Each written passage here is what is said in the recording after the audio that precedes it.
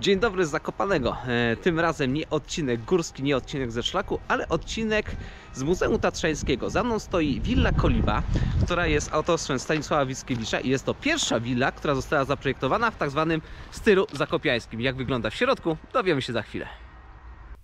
Willa Koliba, pierwszy dom w stylu zakopiańskim, wybudowany według projektu Stanisława Witkiewicza.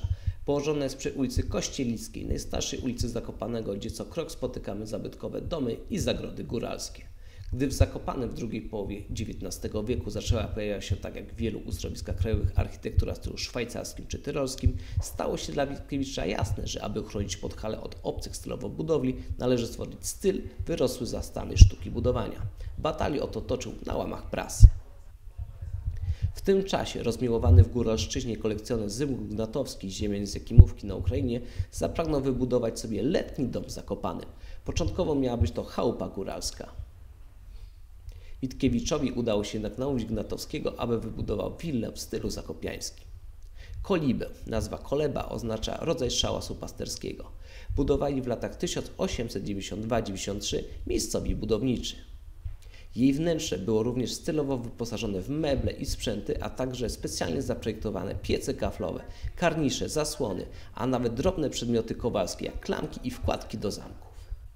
Trzeba zwrócić uwagę, że wszystko wykonane jest artystyczną wyobraźnią, która jest poparta rzemieślniczą dokładnością o każdy szczegół. Willa Koliba jest zbiorem detali tworzących spójny obraz czasów, w których została zbudowana. Estetyka oraz dbałość o szczegóły są znakiem rozpoznawczym stylu zakopiańskiego. W czasie okupacji willa była siedzibą Hitler-Jugend i przetrwała ten okres bez niszczeń. Po wojnie była kolejno domem wypoczynkowym, a później do grudnia 1981 roku domem dziecka.